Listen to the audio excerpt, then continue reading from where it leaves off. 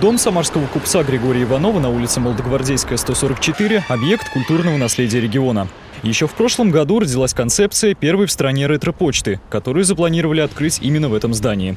Но перед этим дом купца решили привести в порядок, так как здание, построенное в конце 19 века, обветшало и пришло в упадок. Сейчас его активно реконструируют, и уже в сентябре здесь откроется первое отделение ретро-почты в России. За ходом работ следит комиссия во главе с депутатом Госдумы Александром Хинштейном. Изначальный замысел был в том, чтобы восстановить заброшенное отделение почтовой связи, находящееся в здании памятники конца XIX века, и сделать там именно ретро-отделение, воссоздав старинный интерьер. Но в процессе, естественно, стали возникать все новые и новые мысли. Я рад тому, что эти мысли сегодня воплощаются. Сейчас в доме Иванова отреставрировали большую часть наружных и внутренних элементов. Восстановили фасад, кровлю, все перекрытия лестницы, а также реконструировали инженерные сети. В августе подрядчик восстановит первоначальную отделку стен, потолков, интерьера, а также благоустроит прилегающую территорию. Воссоздается даже оригинальная лепнина позапрошлого века. Сейчас работы по реставрации здания находятся уже на завершающем этапе.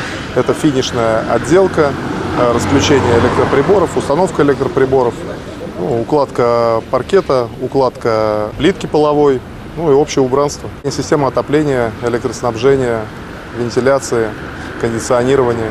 Все вот включает последний этап.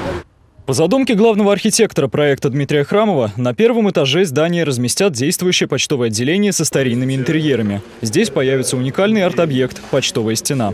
На ней напишут различные истории, связанные с письмами, как из жизни обычных самарцев, так и знаменитых литературных персонажей. Второй этаж отведен под музейно-выставочное пространство. Его разделят на три зоны – посылок, открыток и артефактов. Ключевой экспозицией этого этажа станет история почты в Самарской губернии. Третий же этаж полностью посвятят филателистам или же коллекционерам почтовых марок. Ретро-почта станет единственным местом в нашем округе, где разместят подобные общества. Масштабный проект реализуют по программе «Историческая память». На него привлекли свыше 50 миллионов рублей. Михаил Ермоленко, Николай Епифанов. События.